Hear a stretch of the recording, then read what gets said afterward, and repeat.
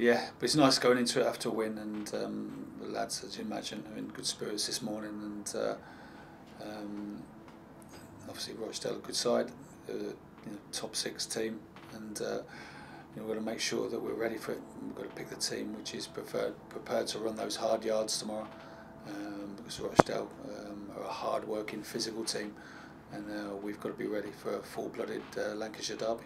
Yeah, there's a lot on the game. local rivals, um, top six clash, like I've said. And um, you know, Rochdale a good side. They're up there on merits. Keith Hill's done a fantastic job. Uh, Chris Long's got a tight hamstring. Um, hopefully, it's not too serious. He's done part of the training today.